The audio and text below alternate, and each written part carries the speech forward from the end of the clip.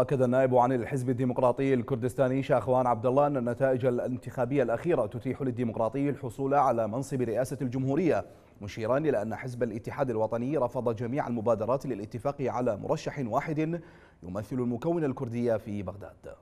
في السابق كان هذه المنصب للاتحاد الوطني الكردستاني ولكن آه، الاتفاق كان مقابل منصب رئاسة الإقليم في الكردستان. الدورة الانتخابية أو إفرازات الانتخابات الأخيرة في آيار الماضي آه، تبين أن الحزب الديمقراطي الكردستاني قد حصل على أكبر أصوات وبذلك هو استحقاق